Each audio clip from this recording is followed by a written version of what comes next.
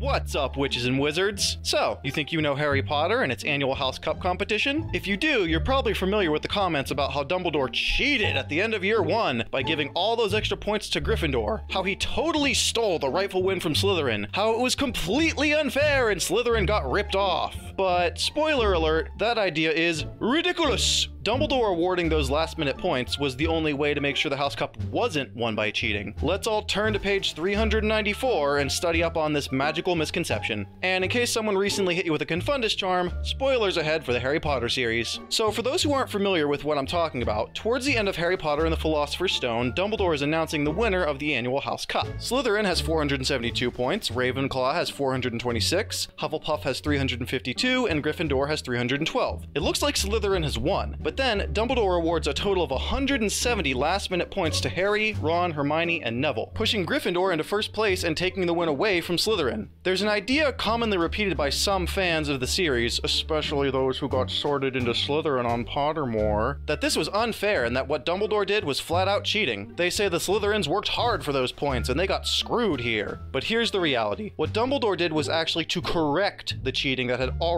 happened. Whose cheating was that, you may ask? Snape. Throughout the series, we see Snape blatantly playing favorites when it comes to house points. He never once ever takes points away from his own house, even when it's super obviously warranted. And similarly, Snape never gives points to anyone not in his house. And in fact, he often takes points from other houses for things that realistically should have earned them points. The other heads of houses, McGonagall, Flitwick, and Sprout, all give and take points fairly. In Chapter 10, McGonagall takes points from Hermione for trying to take on a troll all on her own, but she also gives points to Harry and Ron for saving Hermione's life. In Chapter 15, she takes 50 points each from Harry, Ron, and Hermione for being out of bed after hours, but only takes 20 points from Draco for the exact same offense. Well, big deal, some of you may be thinking, so Snape is a little biased. It can't have skewed the final results that much. Well, actually, it can. If it's been a few years since you've read the books, or if you've only ever seen the movies, you may need a refresher on just how bad Snape's cheating is. So let's take a look. In Chapter 8 of Philosopher's Stone, Snape intentionally targets and provokes Harry with a barrage of difficult questions Harry can't answer, then takes away one point for respectfully suggesting that Hermione seems to know the answer. Later that same lesson, he docks Harry an additional point for not helping Neville, which is especially egregious because later on in the series, we see Snape take points away because Harry tried to help Neville. In Chapter 11, Snape takes points away from Harry for having a library book outside, which, as Ron pointed out, isn't even a real rule. Snape literally made up a fake rule just to have an excuse to take points away. In Chapter 12, he catches Ron and Malfoy about to fight and takes 5 points away from Ron, but does nothing to punish Malfoy at all. In Prisoner of Azkaban, Chapter 9, he takes points away from Hermione just for answering the question he had asked. In Goblet of Fire, Chapter 18, Harry gets into a fight with Draco, but the spells ricochet off each other, so Hermione and Goyle end up getting hit instead. Snape sends Goyle to the hospital wing, but when Harry and Ron point out that Hermione has been disfigured by Draco's curse, Snape says that she looks no different to him. When Harry and Ron protest, Snape takes away 50 points each from Harry and Ron, plus detention. But of course, he doesn't take any points away at all from Draco. In Half-Blood Prince, Chapter 8, Snape takes away 50 points from Harry for being late, and then another 20 points for still being in his muggle clothes, despite the fact that neither of those things were even within Harry's control, because Malfoy had paralyzed him on the train. Oh, and of course Malfoy never loses any points for hexing another student. And those are just the instances we know about.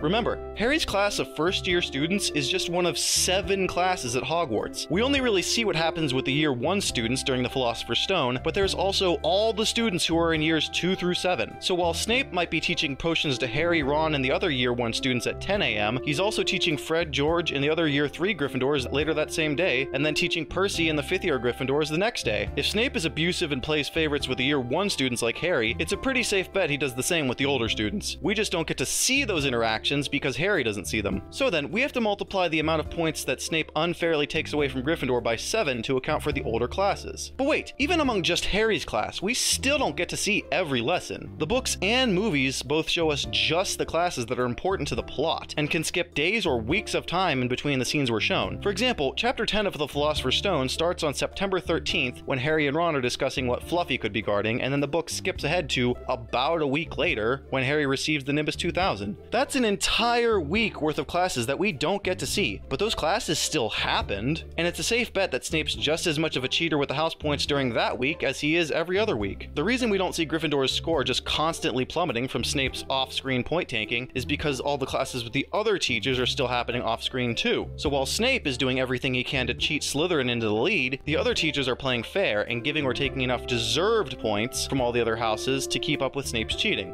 In other words, if Snape didn't cheat, Slytherin would be in dead last from day one, and Gryffindor, Ravenclaw, and Hufflepuff scores would be hundreds, if not thousands of points higher than what we see by the end. And that's where Dumbledore and his last minute points come in. See, he realizes that the Slytherins would be dead last if Snape took points away from them when it was warranted, and that Gryffindor would be in first if Snape didn't go out of his way to unfairly target them. Now, some of you are probably thinking, but Gryffindor was in last place because of the points Harry, Ron, and Hermione lost for being out of bed after midnight, and those points were taken away by McGonagall, not Snape. But the thing you have to realize is that even with the 150 points McGonagall took, Gryffindor would still be in first if Snape had played fair. Consider this in just the three lessons we see during Philosopher's Stone, Snape took around a dozen points from Gryffindor, which is an average of 4 points per class. Harry has potions class three times a week, and the Hogwarts school year runs from the start of September to the third week of June, with a two week break for Christmas and for Easter, for a total of 39 weeks of classes. At three classes per week, that means Harry has class with Snape 117 times over the course of one school year. At an average of 4 points per class, multiplied by 117 classes, that's 468 points that Snape would have taken from just the first year students. Multiply that by 7 to include the older students who also have Snape's class, and we get 3,276 points. That's right, viewers. Over the course of just one year, Snape would have taken over 3,000 points from Gryffindor. Compared to that, the 150 points that McGonagall took from the Golden Trio is just a drop in the bucket. This is also not counting all the chances to take points Snape would have outside of classes, just making up a reason and docking 5 points here and 2 points there every time he passes a random Gryffindor in the hall. It's also safe to say he'd be taking plenty of points away from Hufflepuff and Ravenclaw as well, though maybe not quite as much since Gryffindor is Snape's main target because it contains Harry. Now, upon hearing that Gryffindor's total should have been over 3,000 points, you may wonder, then why was Slytherin's point total only 472? Snape wasn't taking points away from them, and no, he wasn't but the other teachers were. The difference is they were actually doing it fairly. You have to remember that in the actual books, the actual Slytherins were pretty much just god-awful little monsters. A lot of the series fans like to whitewash over how terrible the Slytherins were in the books because they themselves identify as a Slytherin or were sorted into Slytherin on Pottermore, but the simple reality is that the actual canon Slytherin students were, with almost no exceptions, extremely poorly behaved. And that poor behavior would naturally lead to a lot of point deductions. Insulting other students? The Slytherins do that pretty much every time they open their mouths, and that's going to cost them some points, at least with anyone other than Snape. Bullying others and starting fights? Yep, that's going to cost them some points, and the Slytherins do it. Stealing from other students? Yep, the book Slytherins do plenty of that, and similarly, it'll cost them plenty of points. Flat out beating up or hexing other students? Again, the Slytherins in the book do it all the time, and they'd be losing points for it all the time. Using a slur that's basically the magical equivalent of the N word? Oh yeah, you better believe that's gonna cost you a whole heap of points, Draco. Granted, the Slytherins being the most ambitious house would also be earning a fair amount of points too, especially since the other teachers do give Slytherin students points when they've earned it. But ambitious or not, there's no way they're gonna earn enough points to get ahead with the sheer amount of bad behavior they engage in. Now, you may be wondering why Dumbledore didn't just stop Snape from cheating with the points, or why the other heads of houses didn't just start giving and taking points in the same way to even things out? Well, first of all, Dumbledore kind of had more important things to do with his time, such as, you know, saving the world. It may have only been the first year, but he was still spending almost all of his time trying to unearth clues about Voldemort and figure out the secret of his immortality and how to defeat him. Taking some time out of his day, every day, to police Snape's point taking was something he just didn't have time for. As for why the other heads of houses didn't just do the same as Snape with the points, they never would have stooped to his level. We know McGonagall doesn't like to see Gryffindor lose, but she's far too principled to resort to cheating. The same goes for Flitwick and Sprout too. Plus, even if they did start to cheat like Snape,